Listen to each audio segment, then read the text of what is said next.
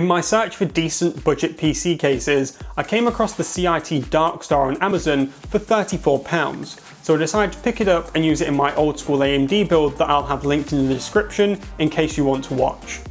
But I finally got around to giving my impressions of this case, giving you guys all the information you might want to know before buying the case, and of course, letting you know whether I think you should buy it or not.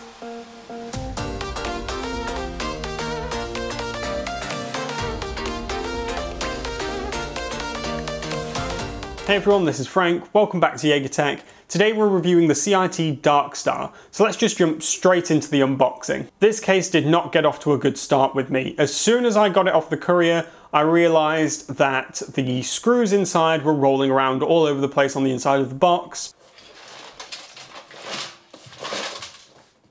The bag that all the screws came in in the inside had popped open. That is a very annoying problem to have because recapturing those screws is a bit of a pain. I had to use a magnetic parts tray. It did not get off to a good start with me. Other than that though, the unboxing experience was perfectly fine. The packaging was decent enough. Taking a look at the outside of the case though, I would say it looks pretty decent. It has a relatively simplistic design, a nice wide side panel, all black with a sort of brushed effect on the front panel, which I think look decent. There are two sort of grooves down the front and they have LED bars in them. And I thought that this might look pretty good.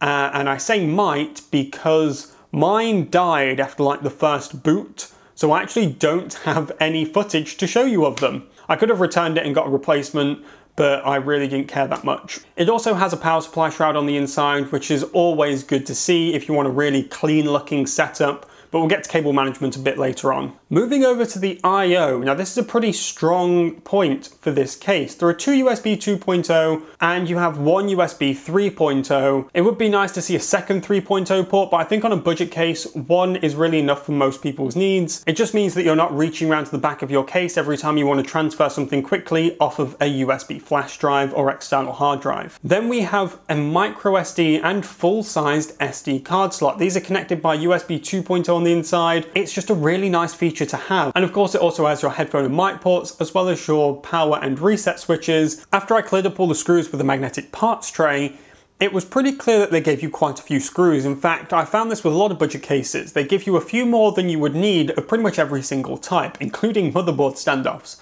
which is kind of nice. And I think the reason they do it is because it's relatively cheap for them to just chuck a load of screws in a bag and send them out to you. However, one problem I've seen with this case and pretty much every budget case I've used is that they never sort those screws.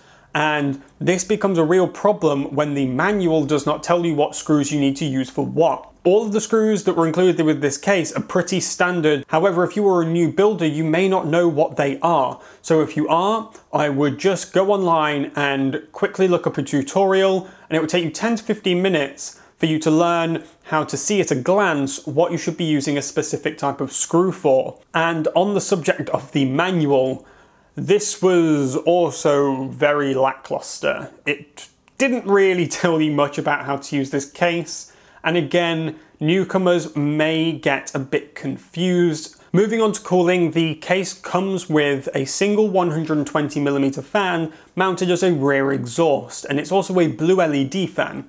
Now this fan isn't obnoxiously loud even when it's running at full speed and it does come with those blue LEDs which if you want that in your case look pretty good so it is it is a nice addition to this case. For additional fans you have the option of either three 120mm fans or two 140mm fans.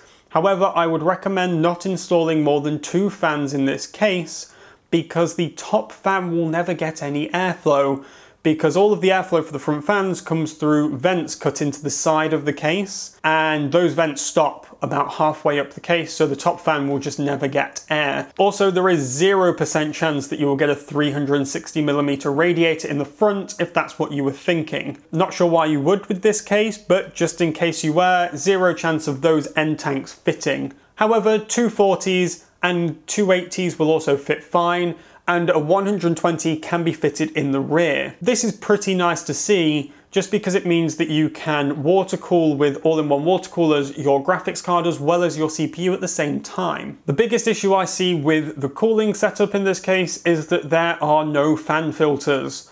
The front is completely unfiltered and actually no, the power supply does have a filter, but it's one of those just shocking bits of metal mesh that's just about cut so it sort of fits into those grooves they're a pain to get out, they're even more of a pain to get in, and they don't really filter much dust out, so yeah, that it doesn't get a point for that fan filter at all. However, what it does get a point for is that the power supply shroud is vented. There are holes cut into it so that you can mount your power supply with the fan facing up. As for drive support, there is a cage in the basement next to the power supply that has two three and a half inch drive sleds. Pretty nice to see. What's also nice to see is that there are three two and a half inch drive mounts elsewhere in the case. There is one behind the motherboard. The other two, however, are mounted next to the motherboard. These are a bit annoying because it would seem like they're there so that you can mount your SSDs to be viewed through the side panel. However, they have depressed mounting holes so that normal screws for two and a half inch drives won't quite reach the SSD if it is on the inside. Let's get on to cable management. It's a mixed bag, really. You, on the plus side, okay, I will give it this. There's a decent amount of space around the back of the motherboard tray. Really nice to see so that you can put all your cables back there. There's a fair amount of cable tie down points as well so that you can zip tie all of them in place. Again, really nice to see. Um, however, the, the power supply shroud it, it, wasn't the best because, okay, so I had a slightly longer than average power supply. It was a 600 watt server supply, and it meant that I couldn't bundle the cables between it and the drive cage because there wasn't enough space. For the most part, it's not going to be a problem for you. If you have a standard power supply, I think 14, 15 centimeters long, you'll probably be able to fit most of the cables in between the power supply and the drive cages. Obviously not the best case for cable management, but you can quite easily get a really crisp looking build so you can't really complain too much. Although just on the power supply mount for a second, it has kind of rubber tabs that sit underneath the power supply. Check these before you install your power supply because mine were just fucking all over the place. So I had to like peel them off wherever they'd stuck to on the sort of sides of the power supply shroud and then stick them down properly. Uh, yeah. Now, the build process, I wouldn't, it wasn't horrible, but it wasn't great. Well, actually, I wouldn't even describe it as good. Reasonably bad is how I would describe the build process in this case. Okay, first of all, the motherboard standoffs didn't line up. I took me like half an hour to mount the motherboard because I put it in and I looked through the screw holes and the, the standoffs weren't there because it just, they didn't line up properly. I ended up having to bend the IO shield out so that I could put the motherboard slightly to the left of where it would normally sit so that it would line up with the standoffs. And that is just ridiculous. Like, there is no excuse for that. Also, GPU sag was a bitch. I had this graphics card in another case that was also a relatively cheap case. Didn't really sag at all. I was relatively surprised with that case. In this one, or did it sag all right? It has a pretty big cooler on there, so I'm not surprised it sagged a bit, but it sagged a lot. And the reason, of course, is because the expansion brackets are really cheap, flimsy metal, like the rest of the case. The whole thing is made out of cheap, thin metal that it just feels sad to work in. You, you may be thinking, but it's cheap. You know, it's a cheap case. Don't be so hard on it. You get what you pay for. Yeah, but you get less than what you pay for in this case because there are much better options that are about the same price. The, the BitFenix Nova, the BitFenix Neos, the Aerocool Aero 500, the Aero 300, these are all decent cheap cases that are way better quality than this. So don't tell me that it's a cheap case and I need to expect that. And a lot of people are going to buy this case and they're going to have a bad experience with it and they're going to think, yeah, well, I bought a cheap case, so I guess it's my own fault and I'm just not going to pay that little for a case anymore. But it's just, don't think that. There are way better options out there. You just have to pick the right ones. And this is a problem I've seen in CIT cases in general. I've worked with, I think, three now.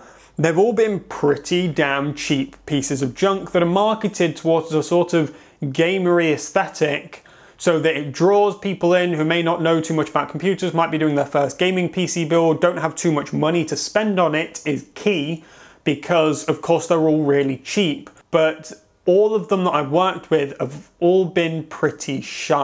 If you already have this case, you've already built in it, and you like the way it looks, and that's fine, like keep it, it's not a problem. Uh, and I actually quite like the way it looks, but it's just the build quality that's the, the problem and the build process in general. All the budget cases seem to have their quirks, but this case just seems to be mostly quirks. And not just small quirks, like not, not being able to install a motherboard is a pretty big fucking quirk. So as a general rule, especially with cheap cases, I would recommend avoiding CIT to be honest with you. I haven't quite worked my way through all of the budget case brands, but I do intend to, so subscribe if you want to see more budget case reviews, and there are already a couple on my channel if you want to check those out. So if you're looking to spend your hard-earned 30 to 35 pounds on a PC case, then maybe look somewhere else. But that's it for today guys. Thank you all very much for watching. I hope you enjoyed this video and please go and check out my channel. I have some PC builds on there as well as a couple of tutorials and a couple of other reviews, things like that. And if you like the videos over there, then please consider subscribing to my channel. I'll be bringing out more videos regularly. Also in the comment section of this video, please let me know the quirks you've come into with PC cases in the past. I think that not being able to install the motherboard is somewhere near the top of my list, but I'd love to hear what you have to say on the matter down below. While you're there, consider rating this video. And as always, this has been Frank with Jeagar Tech. Have a good one.